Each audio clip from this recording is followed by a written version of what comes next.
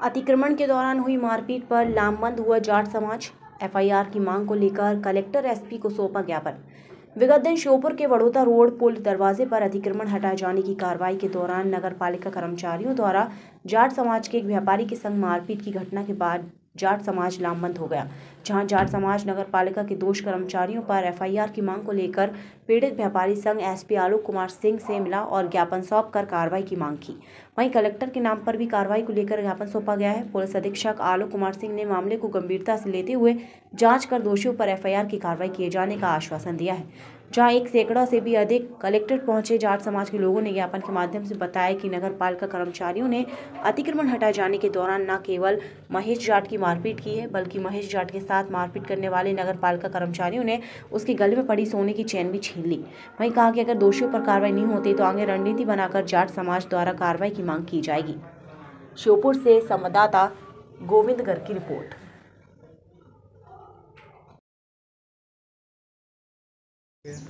नगर पालिका के द्वारा जिस तरीके से मुहिम चलाई जा रही है, कुछ व्यापारियों ने उस चीज़ का, उनको समझाने का प्रयास किया गया कि जो कि नगर पालिका और व्यापारियों का जो पूर्व में जिस तरीके से चर्चा हुई थी और उनका बताया गया था कि ये नगर पालिका के अतिक्रमण के अंतर्गत नहीं आता, उस बारे में कुछ व्यापारी चर्चा कर रहे थे। तो नगर पालिका के अमले के द्वारा कुछ लोग अभद्रता करते हुए उसके साथ मारपीट की और उनके साथ छीना जब्ती करके उनसे कुछ चैन वगैरह लूट के ले गए। ऐसी घटनाओं की पुनरावृत्ति ना हो, इसके लिए पूर्व में भी जाट महासभा और तेजवीर महासंघ और व्यापार महासंघ के द्वारा भी ज्ञापन एसपी साहब को, थाना प्रभारी को दिया गया था। और नगर पालिका में सीएमओ के द्वारा भी पैर पे इसके द्वारा दी गई थी, लेकिन ऐसी घटना ना और उन पर एफ़ की मांग करने के लिए आज ये सब लोग एकत्रित हुए उसी कि जिन लोगों ने यह घटना कारित की है, उन लोगों पर एफआईआर और दोषियों पर कड़ी से कड़ी कार्रवाई।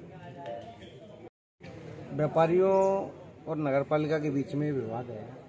जबकि नगर पालिका का व्यापारियों से अनुबंध है कि दुकान के आगे डेढ़ फीट जगह में वो नाली बनाने की अनुमति, नाली के ऊपर खड़ा बनाने की अनुमति नगर पालिका देगी, ऐसा अनुबंध नगर पालिका का व्यापारियों से है।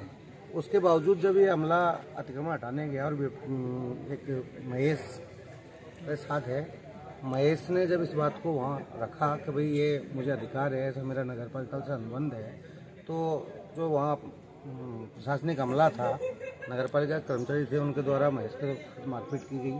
उसमें जाट समाज द्वारा आज ये एसपी साहब से मिलकर एफआईआर की कार्रवाई के लिए मांग की गई है। नगर पालिका ने उसमें कार्रवाई करके तीन लोगों को सस्पेंड भी कर दिया है। अभी एसपी साहब ने आश्वस्त किया है कि जल्दी जो ऐसी मारपीट करने वाले लोग हैं, उनके खिलाफ चिन्हित कर कार्रवाई की जाएगी। और यदि कार्रवाई नहीं होती है तो आज ये सब लोग इकट्ठे हैं और कार्रवाई नहीं होती है तो आगे फिर कोई ठोस कदम उठाया जाएगा। इसके लिए सही है